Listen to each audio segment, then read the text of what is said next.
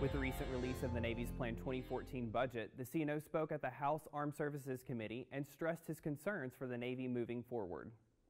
Two important characteristics of our naval forces describe our mandate that we will be that we will operate forward where it matters and that we will be ready when it matters.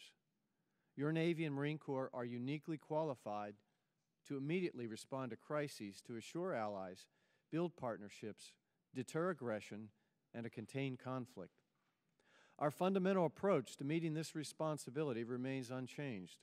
We organize, man, train, and equip the Navy by viewing our decisions through three lenses, or you can call them tenets, and they are warfighting first, operate forward, and be ready.